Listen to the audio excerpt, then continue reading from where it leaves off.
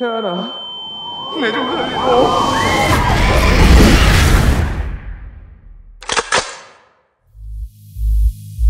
그냥 죽게 내버려 두지 않을 거야.